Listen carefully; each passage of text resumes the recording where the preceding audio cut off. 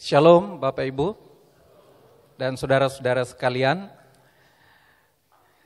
Firman Tuhan yang akan kita renungkan hari ini saya beri tema Teladan Natal yang terlupakan. Pertama-tama saya mengucapkan selamat Natal untuk kita semua dan terima kasih karena dipercaya untuk menyampaikan firman Tuhan pada hari ini. Saya menyampaikan firman Tuhan terakhir di sini mungkin dua tahun yang lalu. Jadi ini kebetulan kena tembak lagi menyampaikan firman Tuhan untuk kali yang kedua. Kalau Pak Esra live di Facebook mungkin, saya mengucapkan selamat Natal untuk Pak Esra. Bapak Ibu dan saudara-saudara, sebelum kita membaca dan merenungkan firman Tuhan, saya ingin mengawalinya dengan satu penelitian yang dilakukan satu tahun yang lalu. Pada tahun 2000 16 yang lalu, ada sebuah lembaga Injili yang melakukan penelitian survei terhadap perayaan Natal. Paling tidak ada tiga hal yang menjadi pokok survei dari uh, lembaga Injili ini. Yang pertama adalah sebelumnya mereka mensurvei 2,6 juta orang. Pendapat-pendapat 2,6 juta orang ini tentang Natal.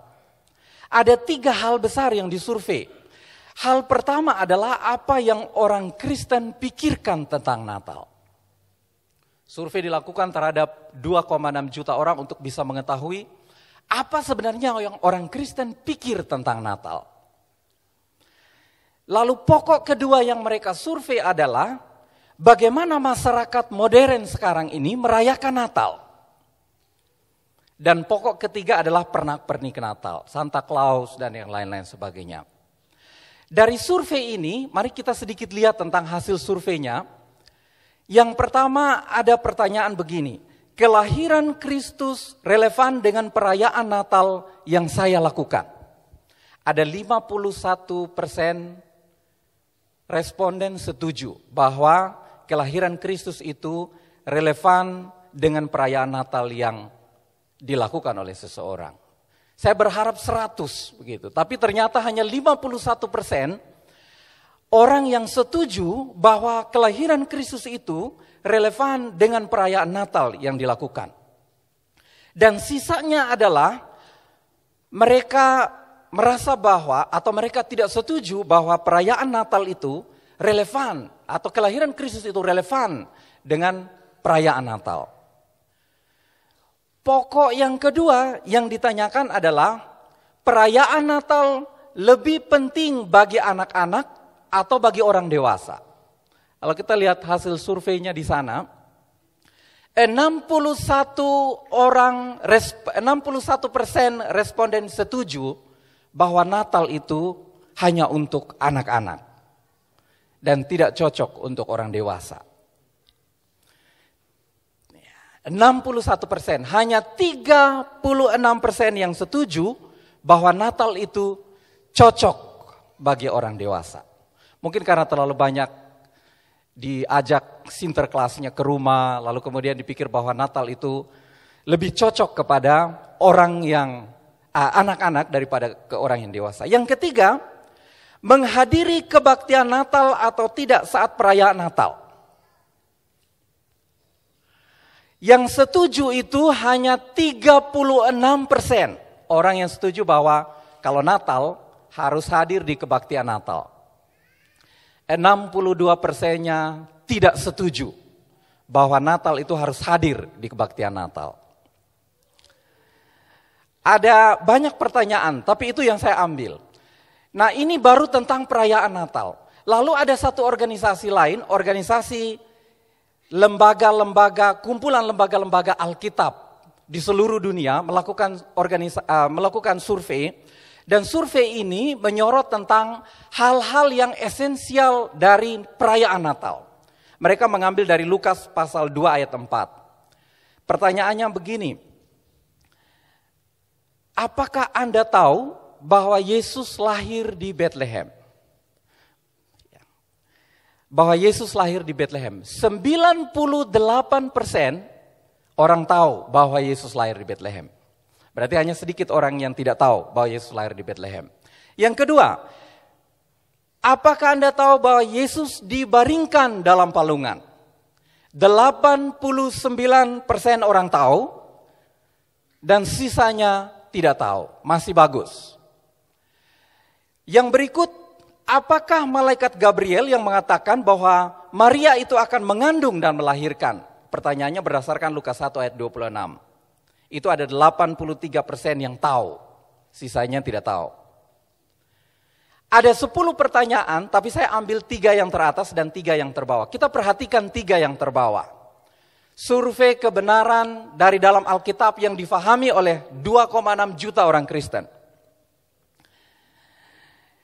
Tiga dari yang terbawa, urutan ketiga adalah Immanuel itu artinya Allah beserta kita. Hanya 32 persen yang tahu bahwa Immanuel itu berarti Allah beserta kita. Sisanya tidak tahu. Mungkin karena pakai Immanuel, ya. Kalau pakai Allah beserta kita mungkin mereka akan tahu. Tapi kalau karena pakai Immanuel, jadi tidak tahu bahwa artinya adalah Allah beserta kita. Yang berikut, status Maria dan Yusuf itu hanya bertunangan pada saat Maria mengandung, bukan suami istri, hanya bertunangan pada saat Maria mengandung. Berdasarkan Matius 1 ayat 18. Ada 26 persen orang yang tahu, sisanya tidak tahu. Hanya 26 persen orang yang tahu bahwa Maria dan Yusuf itu statusnya baru tunangan. Dan yang paling terakhir adalah perjalanan orang Majus itu ke barat. Mereka dari timur menuju ke barat. Hanya 14 persen orang yang tahu. Bapak Ibu saya tertarik untuk melihat hasil survei kedua terendah. Kedua terendah adalah pengetahuan tentang siapa Yusuf dan Maria dan bagaimana status mereka yang waktu itu baru tunangan. Nah, hal ini mungkin menunjukkan bahwa banyak sisi dari perayaan Natal yang sebenarnya kita pikirkan bersama, yang sebenarnya kita dengar dari khotbah-khotbah, dari renungan-renungan yang belum menyentuh esensi daripada Alkitab yang sebenarnya. Mungkin yang kita dengar tentang perayaan, tapi belum tentang hal-hal mendasar dari dalam Alkitab. Kalau kita bayangkan ketika orang Majus datang bertemu dengan Yesus, Yusuf dan Maria di palungan, itu sesuatu yang memalukan. Ya. Nah perayaan Natal kita Bapak Ibu dan Saudara-saudara memang fokus kepada Yesus. Tetapi selain Tuhan Yesus ada Maria, selain Maria ada orang Majus, ada para gembala. Bahkan bintang dan bahkan kandang. Saya pernah dengar khotbah Pak Esra tentang bintang. Bahkan kandang menjadi objek dari bahasan kita. Tapi ada satu tokoh yang cukup berperan dan perannya itu penting yang ketika diperankan di drama-drama Natal dia hanya figuran yaitu Yusuf. Dan hari ini kita akan melihat bersama-sama teladan dari Yusuf. Saya tanya Pak Esra waktu mau keluar dari radio, Pak, Pak Esra, Pak Esra sudah khotbah tentang Yusuf belum? Pak Esra bilang, sudah saya bilang celaka besar. Tapi tidak apa-apa. Mari kita membaca ayat firman Tuhan Matius 1 ayat 18 sampai 25, pasal 2 ayat 13 sampai 15, pasal 2 ayat 19 sampai 23. Kita mulai dengan Matius 1 ayat 18 sampai 25. Saya baca ayat yang genap, Bapak Ibu baca ayat yang ganjil. Kelahiran Yesus Kristus adalah seperti berikut. Pada waktu Maria ibunya bertunangan dengan Yusuf, ternyata ia mengandung dari Roh Kudus sebelum mereka hidup sebagai suami istri.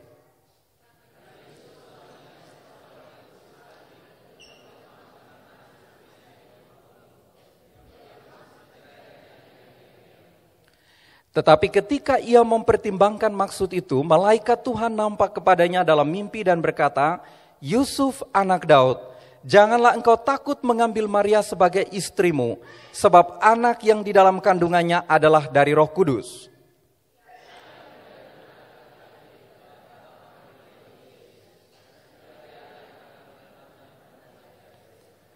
Hal itu terjadi supaya genaplah yang difirmankan Tuhan oleh Nabi.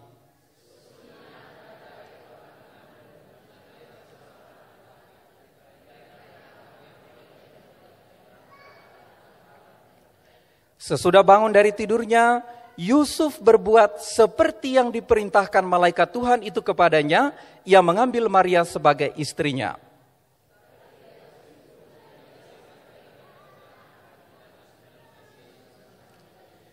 Kita lanjutkan dengan pasal 2 ayat 13 sampai 15. Berbalasan juga saya mulai dari ayat yang ganjil. Setelah orang-orang Majus itu berangkat, nampaklah malaikat Tuhan kepada Yusuf dalam mimpi dan berkata, "Bangunlah, ambillah anak itu serta ibunya, larilah ke Mesir dan tinggallah di sana sampai aku berfirman kepadamu, karena Herodes akan mencari anak itu untuk membunuh dia."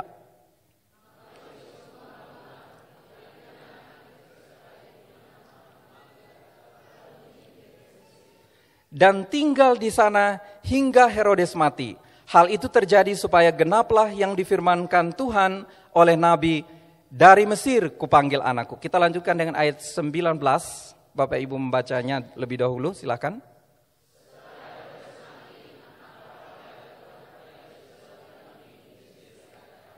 Bangunlah, ambillah anak itu serta ibunya, dan berangkatlah ke tanah Israel karena mereka yang hendak membunuh anak itu sudah mati.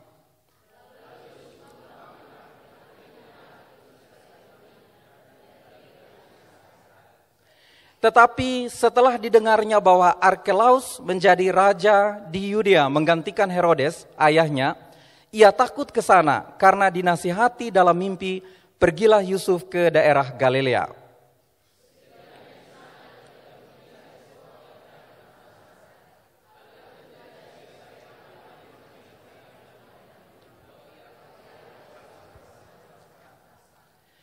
Bapak Ibu dan saudara-saudara, cukup panjang ayat yang kita baca. Tapi sebelum kita belajar tentang Yusuf, mari kita lihat Yusuf suami Maria. Walaupun Tuhan Yesus bukan ayah jasmani dari tu, uh, walaupun Yusuf ini bukan ayah jasmani dari Tuhan Yesus, tapi dia dicatat oleh kitab Injil ini dalam silsilah Yesus Kristus.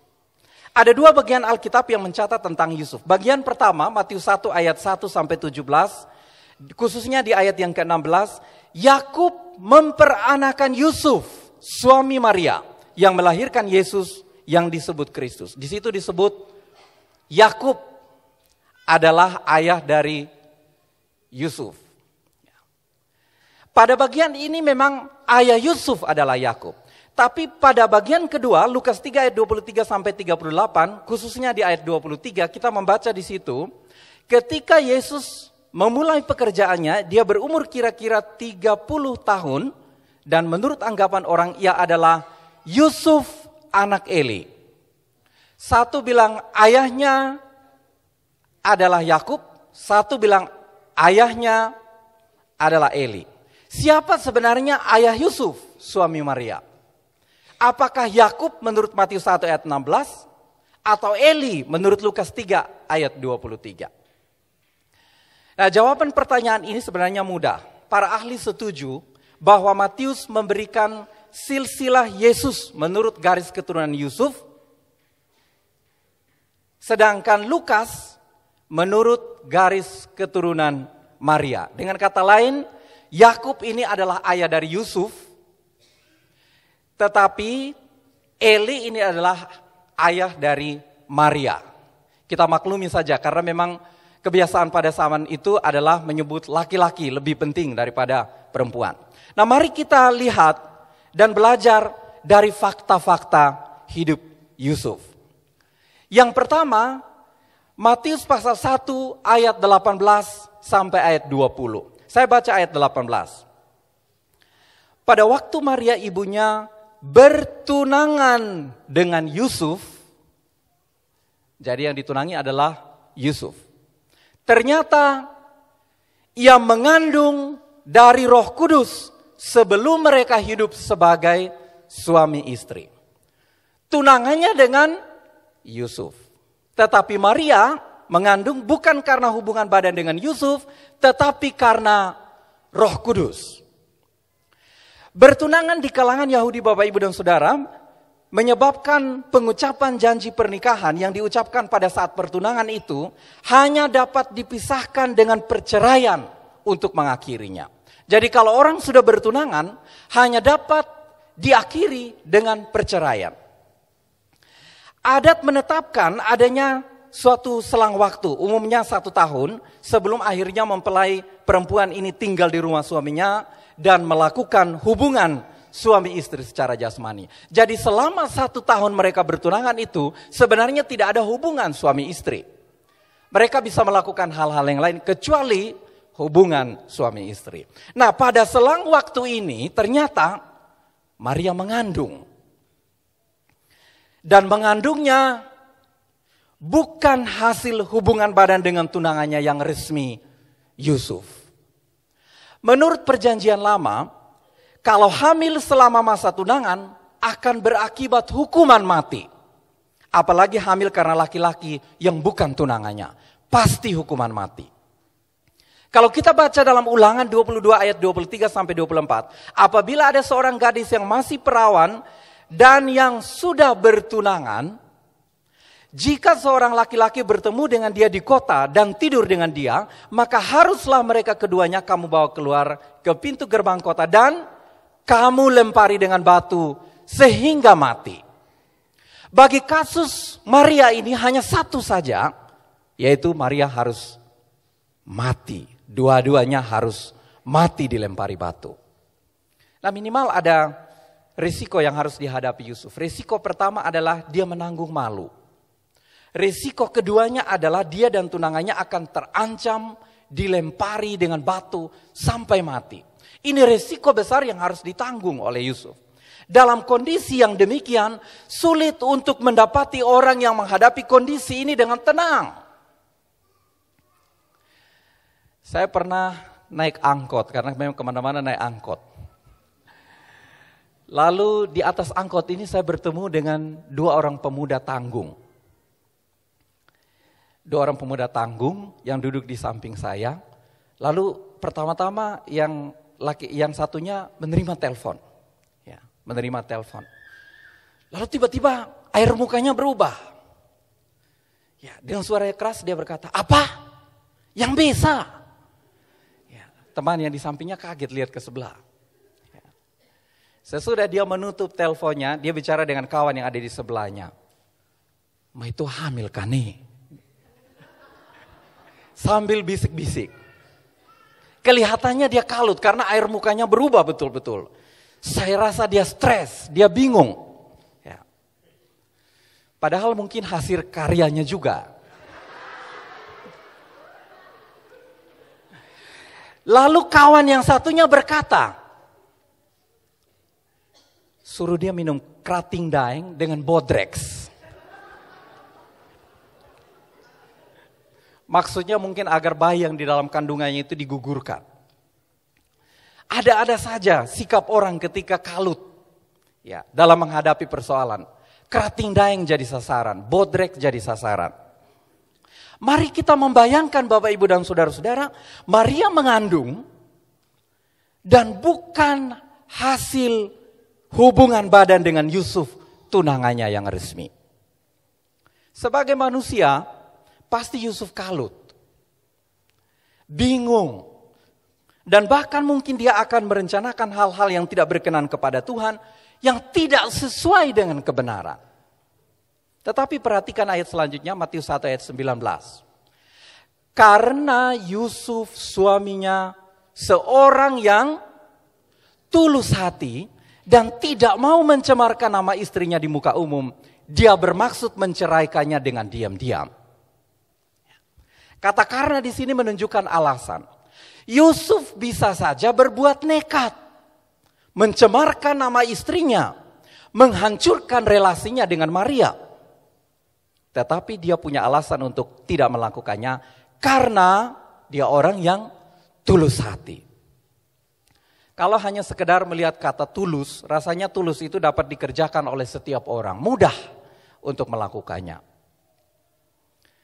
Tetapi kalau kita lihat bahasa aslinya berasal dari kata dikaios. Kata dikaios ini adalah akar kata yang ketika kita bandingkan dengan bahasa Ibrani itu dekat dengan kata sedek atau sadik. Mungkin Bapak Ibu pernah dengar nama Melki Sedek. Ya. Melki Sedek itu berasal dari dua kata yaitu kata malak yang adalah raja dan kemudian sedek, sadik yang adalah benar atau kebenaran atau adil atau saleh. Nah di kaios ini akar katanya ke bahasa Ibrani sama dengan itu. Ketika kita ingin melihat tentang Yusuf suami Maria ini, maka kita harus tahu bahwa sebenarnya kata tulus yang dipakai di situ adalah bahwa Yusuf adalah orang yang benar. Yusuf adalah orang yang saleh. Yusuf adalah orang yang kebenaran ada di dalam hatinya. Jadi tulus itu sebenarnya berarti ia hidup tidak bercela. Ia hidup dalam kekudusan. Ia hidup dalam kebenaran. Ia saleh. Ia melakukan yang benar-benar. Kata tulus ini punya orientasi pada hubungan dengan Allah. Artinya, orang yang tulus itu tidak berpura-pura di hadapan manusia, tetapi dia tahu bahwa hatinya itu dinilai oleh Allah. Diperiksa oleh Allah, ditilik oleh Allah hatinya. Kata dikayos ini dikenakan kepada mereka yang menjalankan tiga hal.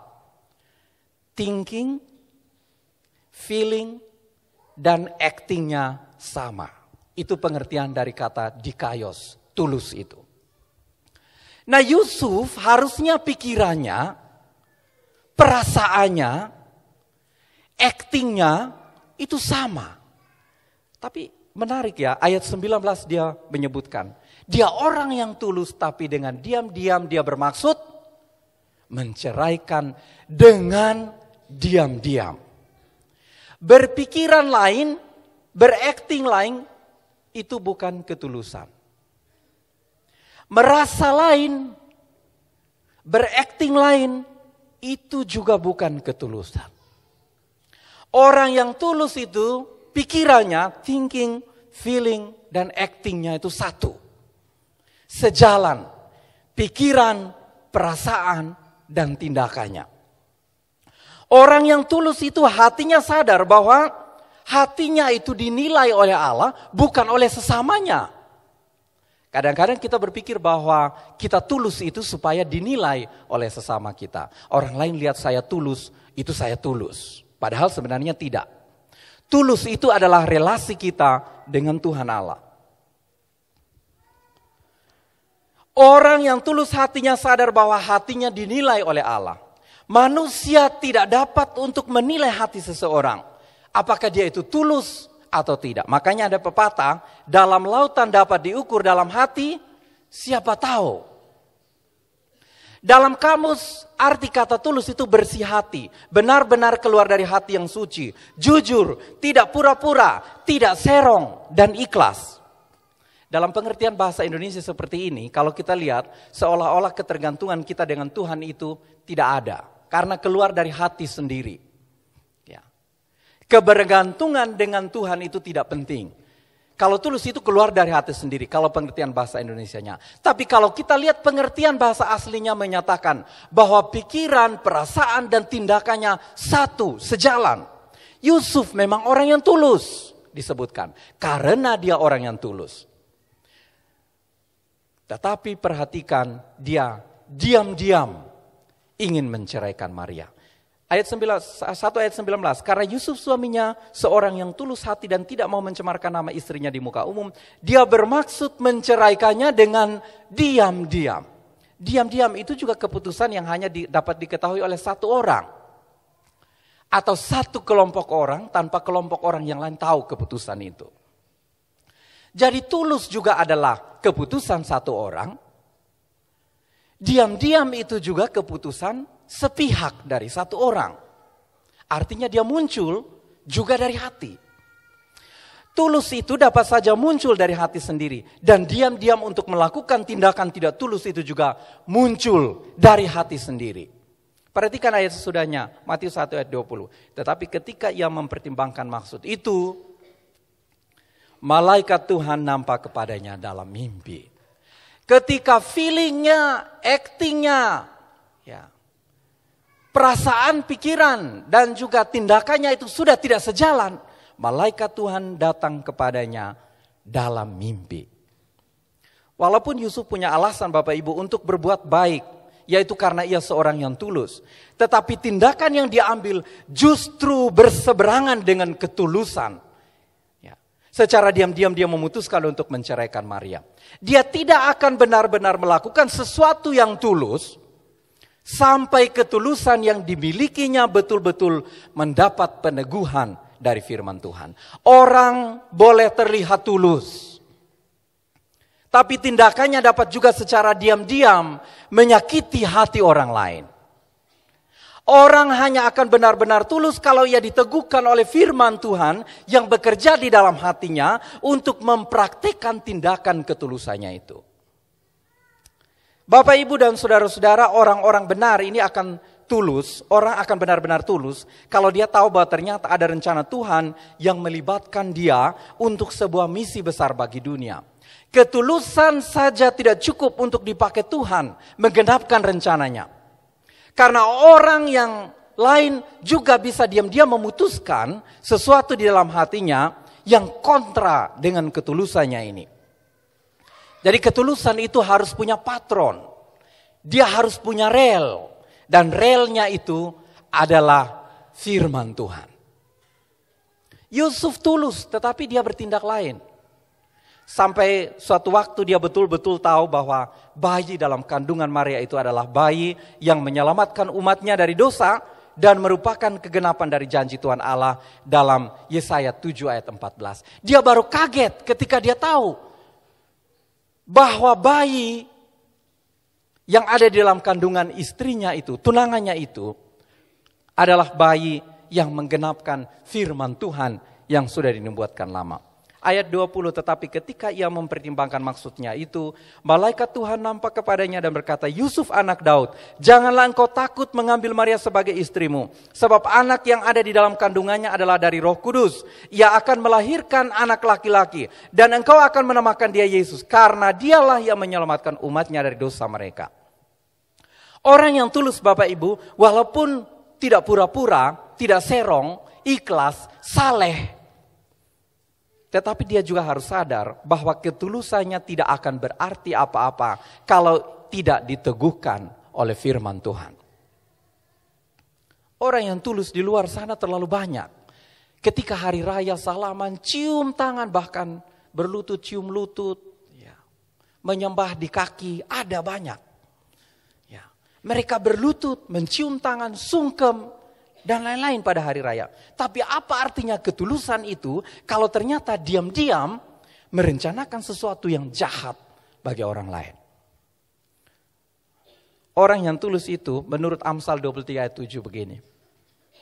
Silahkan makan dan minum katanya kepadamu. Tetapi ia tidak tulus hati terhadapmu. Mari makan. Heh. Ya.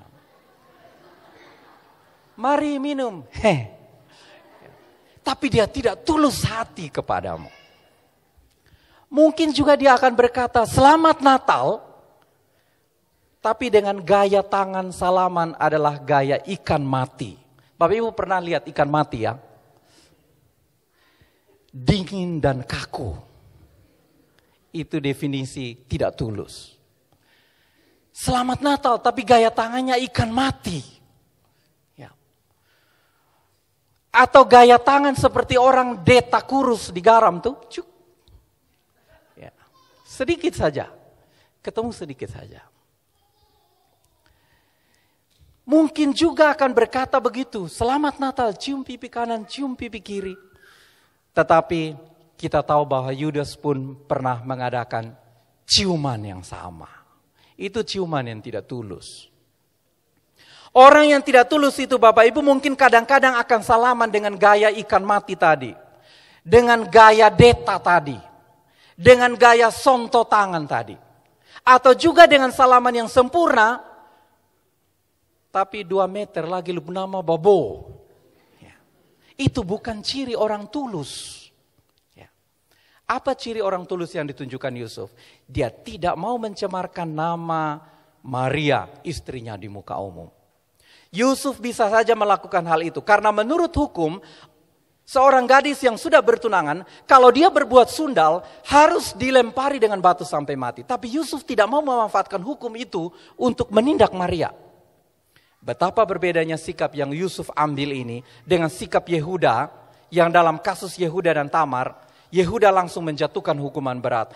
Kejadian 38 ayat 24. Sesudah kurang lebih tiga bulan dikabarkanlah kepada Yehuda, Tamar menantumu bersundal, bahkan telah mengandung dari persundalannya itu. Lalu kata Yehuda, bawalah perempuan itu supaya dibakar.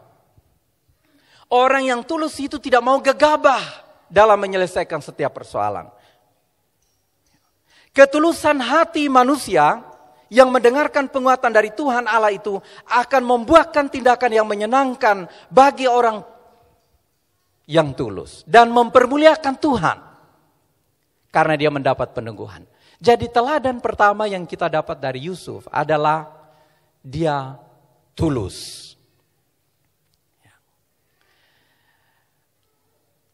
Yohanes Calvin dia punya moto hidup prompte et sincere et opere domini. Artinya, hatiku ku persembahkan kepadamu, oh Tuhan, siap dan tulus. Itu moto hidup Yohanes Calvin.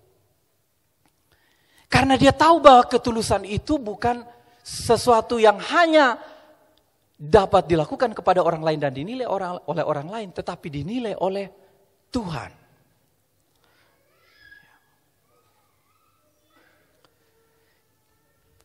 Menurut Yohanes Calvin, hanya orang-orang yang dibebaskan oleh anugerah Allah yang akan menjadi orang-orang yang tulus.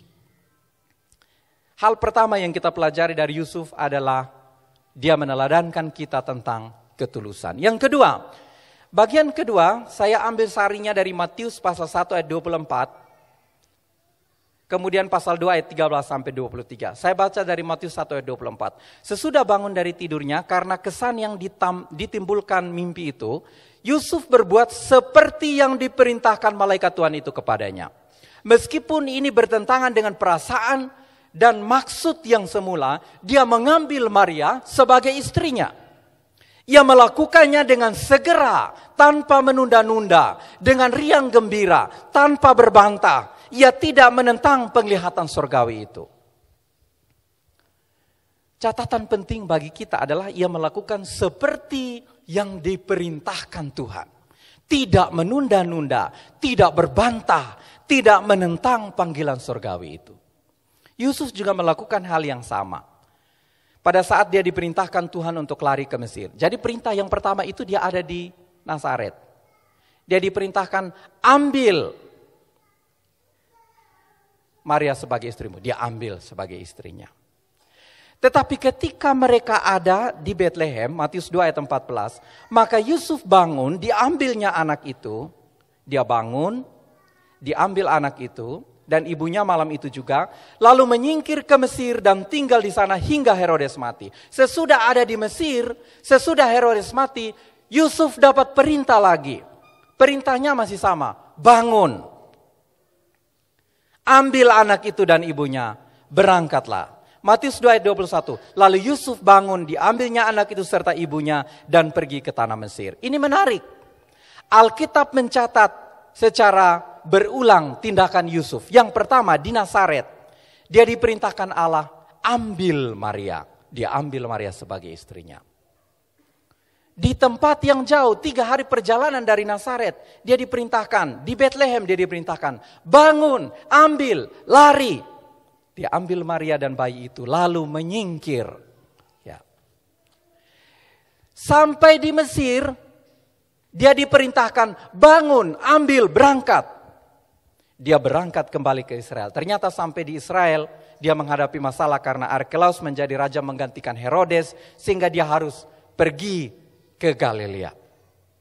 Kalau ada orang yang diperintah Tuhan, lalu dia melakukannya persis seperti yang disuruhkan, disuruhkan oleh Tuhan kepadanya, maka kita menyebut itu sebagai taat.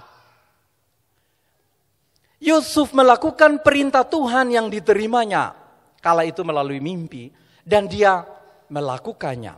Ketaatannya kepada firman Tuhan ini ternyata supaya firman Tuhan yang sebelumnya tergenapi.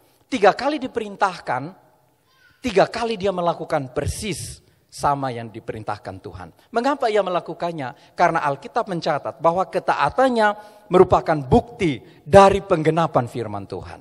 Matius 1 ayat 22, ketika pertama kali dia diperintah dia melakukan hal itu terjadi supaya genaplah yang difirmankan Tuhan oleh Nabi. Matius 1 ayat, Matius 2 ayat 15. Hal itu terjadi supaya genaplah yang difirmankan Tuhan oleh Nabi. Matius 2 ayat 23b. Hal itu terjadi supaya genaplah yang difirmankan Tuhan oleh Nabi. Memang kalau dilihat dari tujuan kitab Matius adalah penggenapan dari apa yang ditulis di dalam PL. Dan dalam hal ini ketaatan Yusuf dipakai sebagai salah satu sarana supaya rencana Tuhan digenapi.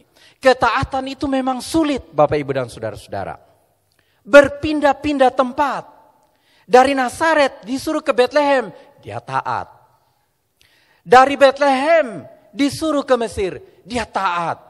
Dari Mesir disuruh ke Israel kembali, dia taat walaupun sampai di sana menghadapi tantangan. Lalu dia pergi kembali ke Nazaret. Di Bethlehem dia tidak diterima, dia ke Nazaret. Tetapi kalau kita ingin menjadi bagian yang terlibat dalam sejarah keselamatan Allah, kita ingin melakukan pekerjaan keselamatan yang Allah perintahkan kepada kita, maka hanya satu cara, yaitu taat. Amsal 13 ayat 13 berkata, siapa meremehkan firman, dia akan menanggung akibatnya. Tetapi siapa taat kepada perintah, akan menerima balasannya. Ada akibat jika kita meremehkan firman. Kita dengar firman setiap minggu. Berapa berapa persen yang kita lakukan dari firman itu. Ada akibatnya. Akan ada akibatnya tetapi ketaatan kita akan dibalas. Bayi Yesus selamat dari kekejaman Herodes. Bahkan selamat dari kekejaman Arkelaus anaknya. Ini bagian dari ketaatan kepada Tuhan. Tetapi kita juga tahu bahwa Lukas 2 ayat 1 sampai 3 Yusuf juga taat kepada pemerintah. Pada waktu Kaisar Agustus mengeluarkan suatu perintah menyuruh mendaftarkan semua orang di seluruh dunia, inilah pendaftaran yang pertama kali diadakan sewaktu Kirenius menjadi wali negeri di Syria. Maka pergilah semua orang mendaftarkan diri masing-masing di kotanya sendiri. Demikian juga Yusuf pergi dari kota Nazaret di Galilea ke Yudea ke kota Daud yang bernama Bethlehem supaya didaftarkan bersama-sama dengan Maria tunangannya yang sedang mengandung. Kalau kita lihat petanya, Yerusalem itu perjalanan yang cukup jauh. Sam, dari Nazaret sampai ke Bethlehem. Ya, dari Bethlehem dia putar di situ sebentar, lalu kemudian dia pergi ke Mesir. Ya. Sampai ke Mesir lagi dia kembali ke Nazaret. Demi ketaatannya kepada pemerintah, dia rela melakukan perjalanan yang jauhnya 80 mil satu mil itu kira-kira 1,6 kilometer. Berarti perjalanan jaraknya 128 kilometer. Para ahli setuju bahwa perjalanan dari Nazaret sampai ke Bethlehem itu kira-kira memakan waktu tiga hari, tiga malam perjalanan. Dalam keadaan hamil besar. Ya, mungkin melewati padang gurun, batu-batuan, tapi dia melakukannya demi ketaatannya untuk melakukan sensus. Di zaman sekarang ini kita memang tidak bisa mengharapkan arahan yang luar biasa selalu dalam mimpi. Ya, selalu diarahkan dalam mimpi. Kita tidak mengharapkan itu. Tetapi Tuhan masih dapat meminta kita untuk taat kepada firman-Nya. Lewat penyampaian firman Tuhan yang kita dengar di mana saja. Ya. Karena itu melalui setiap cara ini disertai dengan penerapan petunjuk-petunjuk umum yang tertulis dalam firman Tuhan, seharusnya kita mengikuti petunjuk yang berasal dari Tuhan dalam seluruh langkah hidup kita. Itu bagian dari ketaatan. Ada banyak alasan untuk tidak taat kepada firman Tuhan. Tapi ingat, ketika kita taat pada firman Tuhan berdasarkan kisah Yusuf ini, paling tidak ada tiga hal terjadi. Rencana Allah akan digenapi melalui ketaatan kita. Yang kedua, dia akan terhindar dari bahaya yang mengancam. Kalau orang taat, dia akan terhindar dari bahaya yang mengancam. Kalau itu lampu merah, jangan terobos. Kalau tidak, bahaya mengancam. Nah itu per, itu peraturan yang juga sama dengan di dalam Alkitab. Kalau kita taat kepada Tuhan Allah, maka kita akan terhindar dari bahaya yang mengancam kita. Kalau Yusuf tidak taat dan melarikan Maria dan bayi Yesus, bisa saja bayi itu ikut dibunuh. Ada dua teladan yang sudah kita peroleh. Yang pertama, tulus. Dan yang kedua, taat. Bagian ketiga, Matius 1 ayat 24 sampai 25. Saya sarikan dari situ. Mari kita mengamati bagian-bagian ini. Ya. Ayat 24 sampai 25. Sesudah bangun dari tidurnya, Yusuf berbuat seperti yang diperintahkan malaikat Tuhan kepadanya. Ia mengambil Maria sebagai istrinya. Itu yang pertama. Yang kedua, tetapi tidak bersetubuh dengan dia sampai ia melahirkan anaknya laki-laki. Dan yang ketiga, Yusuf menamakan dia Yesus. Data pertama ayat 24. Bagian akhir mengatakan, Yusuf mengambil Maria sebagai istrinya. Jelas menunjukkan bagian dari pernikahan Yusuf dan Maria. Beberapa terjemahan menggantikan kata mengambil dengan kata menerima Maria sebagai istrinya. Alkitab bahasa Indonesia mengatakan Yusuf menikahi Maria sebagai istrinya. Ingat, Maria mengandung karena Roh Kudus, tetapi Yusuf menerimanya sebagai istrinya. Yusuf menikahinya sebagai istrinya. Yusuf mengambil dia sebagai istrinya. Ini persoalan yang sulit, pelik untuk dipecahkan. Lu mengandung dari orang lain, baru lu suruh saya untuk angkat lu sebagai istri. Ada alasan untuk bisa meninggalkan Maria. Tetapi Yusuf tidak melakukannya. Kalau Yusuf bukan tipe orang yang bertanggung jawab, mungkin dia bisa saja meninggalkan Maria. Tetapi Yusuf tidak melakukannya karena dia memiliki rasa tanggung jawab yang dimilikinya. Biasanya orang yang bertanggung jawab itu karena hasil perbuatannya. Tapi Yusuf ini dia lain. Dia bertanggung jawab walaupun itu bukan hasil perbuatannya. Biasanya orang bertanggung jawab karena hasil perbuatannya, tapi Yusuf tidak. Catatan penting, dia bertanggung jawab walaupun itu bukan hasil perbuatannya. Sulit untuk mendapati orang yang demikian. Data yang kedua, dia rela untuk tidak bersetubuh dengan Maria sampai Yesus lahir. Ayat 25. Ini penting karena perempuan yang melahirkan Yesus haruslah perawan. Tidak boleh perempuan yang melahirkan Yesus bukan perawan. Karena itu dia rela tidak bersetubuh dengan Maria pada saat Maria mengandung. Ada dua bacaan. Ayat 23 menyebutkan sesungguhnya anak darah itu akan mengandung dan melahirkan seorang anak laki-laki dan mereka akan menamakan dia Immanuel yang berarti Allah menyertai kita. Di situ pakai anak darah.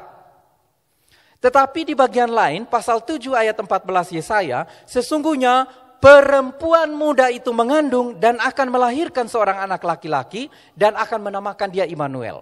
Terjemahan LAI dalam Alkitab kita, perempuan muda itu bisa perawan atau bisa tidak ya? Kalau perempuan muda. Tetapi bahasa Ibrani yang dipakai itu kata perempuan muda di situ adalah alma. Mungkin ini yang membuat banyak orang menamakan anak mereka itu Alma. Ya. Alma itu artinya virgin. Artinya dia gadis. Ya.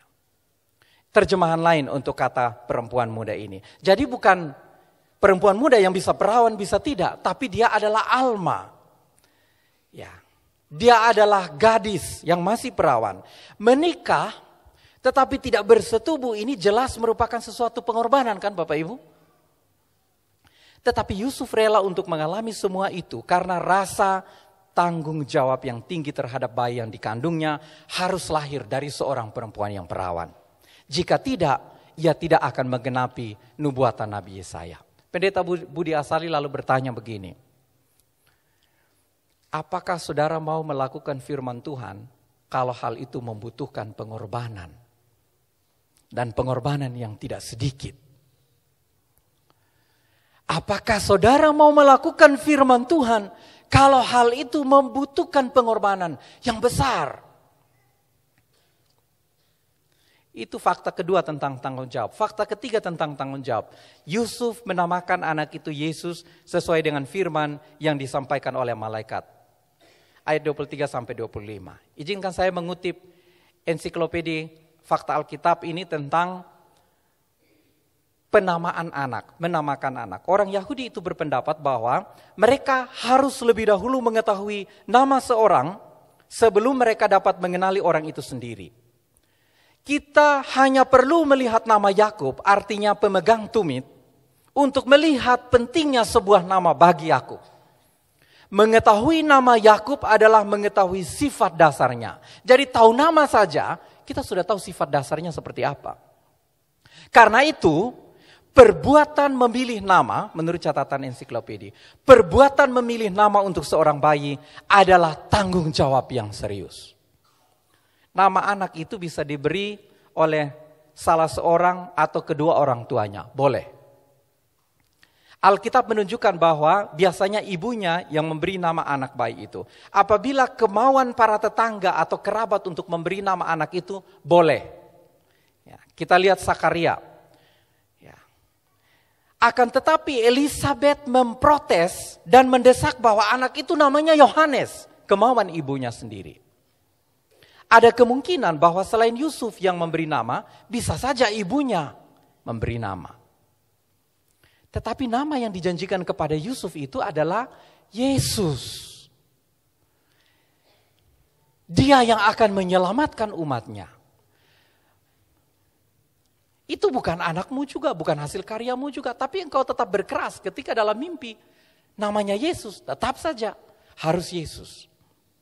Ada kemungkinan bahwa mungkin tetangganya yang memberi nama, tapi Yusuf tidak melakukan itu. Yusuf bertanggung jawab terhadap amanat yang diterima dari Tuhan untuk memberi nama anak itu. Yesus yang menyelamatkan umatnya dari dosa. Tanggung jawab pemberian nama ini bisa saja beralih ke orang lain, ke ibu, ke tetangga, tapi Yusuf menjalankan tanggung jawab yang dipercayakan malaikat Tuhan kepadanya untuk menamakan anak ini. Ini sebuah tanggung jawab yang diterima Yusuf. Yang ia harus jalankan sesuai dengan amanat Tuhan. Yusuf menamakan dia Yesus sesuai dengan petunjuk Tuhan itu. Dan dia adalah juru selamat kita. Nama Yesus dia adalah juru selamat kita. Ketaatan untuk menyebut nama Yesus juru selamat kita ini harus kita utamakan. Dia bukan sekedar tokoh moral kita, tetapi dia adalah juru selamat kita. Sayang kalau kita hanya mengenal dia sebagai tokoh moral kita semata. Padahal nama itu akan nama itu diberikan oleh Yusuf atas aman dari Tuhan. Yesus, dia adalah juru selamat yang akan menyelamatkan umatnya dari dosa. Maka selain tulus, T yang pertama, teladan yang pertama kita dapat selain tulus, dia juga orang yang taat. Dan yang ketiga, dia orang yang punya tanggung jawab. Tanggung jawab yang Yusuf terima dari Tuhan itu harus dijalankan. Walaupun dia sendiri sebenarnya sedang gundah. Menerima situasi dan kondisinya. Bapak Ibu kalau kita lihat apa tanggung jawab kita sebagai orang Kristen. Banyak hal. Kalau kita mau bercermin tanggung jawab kita sebagai orang Kristen. Ada tanggung jawab terhadap Allah. Mempersembahkan diri dan milik kita. Menaati Allah mengucap syukur, tidak bersungut-sungut, mencukupkan diri dengan apa yang ada pada diri kita, memberi hormat atau menghormati Allah, menunjukkan ketaatan, itu tanggung jawab kita terhadap dan banyak daftar lain. Tapi kita juga tidak saja bertanggung jawab terhadap Allah, kita juga harus bertanggung jawab terhadap diri kita, pertumbuhan rohani kita, hidup menurut rencana Allah bukan rencana kita, bekerja, memikirkan hal yang baik, mempelajari hal-hal yang berguna, berakal sehat, menjauhi setiap jenis kejahatan, memilih yang baik, mengendalikan tubuh, memelihara kesehatan, memanfaatkan karunia-karunia rohani, memanfaatkan uang, memanfaatkan harta, tanggung jawab terhadap diri kita sendiri.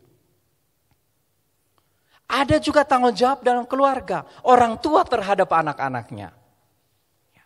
10 Oktober yang lalu sekitar pukul 8.30 masyarakat di pos bandara, belakang pos bandara El Tari ditemukan, menemukan bayi usianya kurang lebih 3,5 bulan.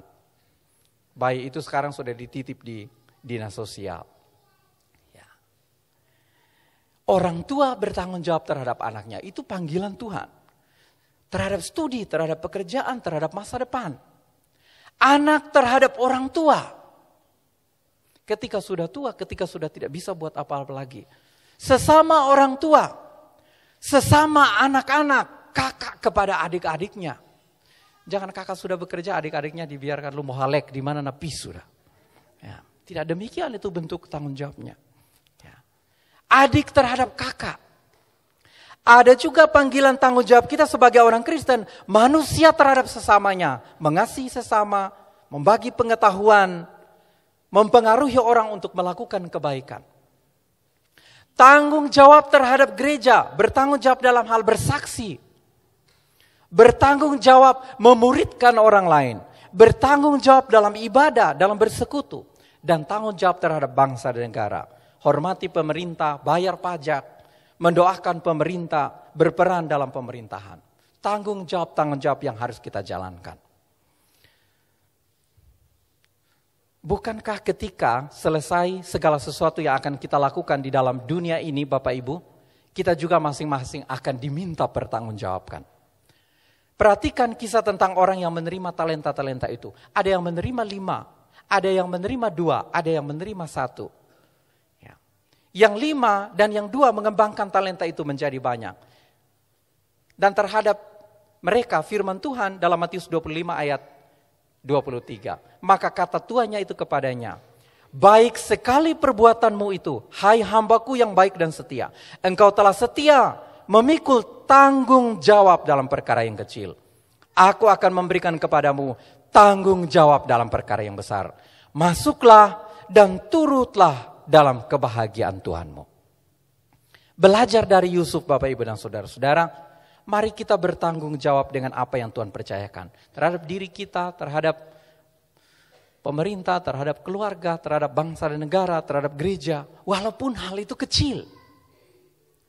Dan puji Tuhan tanggung jawab yang Yusuf dipercayakan kepada Yusuf terus dilakukan dengan dalam menyelamatkan bayi Yesus dari Herodes dan membawa bayi Yesus kembali ke Israel. Bapak, Ibu dan saudara-saudara, Yusuf memang figuran di dalam drama-drama Natal. Ia tidak banyak diekspos dalam Natal. Tapi kita belajar darinya tiga hal penting. Ya. 84% orang tidak tahu status Yusuf dan Maria. Kalau statusnya saja tidak tahu, apalagi tentang pribadinya, apalagi bicara tentang kehidupan dan teladan-teladannya. Tapi hari ini kita belajar tiga teladan dari Yusuf. Yang pertama, dia adalah pribadi yang tulus. Dia yang kedua, dia adalah pribadi yang taat. Dan yang ketiga, dia adalah pribadi yang bertanggung jawab dipakai oleh Allah untuk pekerjaan-pekerjaan dalam menggenapi rencananya sering kali hanya terdengar indah di telinga. Tetapi berat untuk menjalankannya. Karena kita harus mengorbankan hasrat kita. Kita harus mengorbankan harapan kita. Harus mengorbankan ambisi-ambisi kita. Bahkan mungkin kita akan merasa harga diri kita hilang. Seperti yang dialami oleh Yusuf. Tetapi kita harus mengimani bahwa kehendak Allah itu ada atas kita masing-masing. Kalau kita bertanggung jawab, kalau kita taat, kalau kita tulus. Kita juga harus menyadari bahwa dilibatkan Allah ke dalam penggenapan rencananya merupakan hal yang sungguh mulia bagi kita. Mulia walaupun kita tidak mendapat penghormatan dari orang lain. Kalau kita tetap merasa berat menjalankan kehendak Tuhan, kita perlu meminta Tuhan untuk menerangi hati dan pikiran kita, untuk menguatkan kita setiap hari untuk melakukan teladan-teladan yang diberikan oleh Yusuf kepada kita. Mari kita berdoa.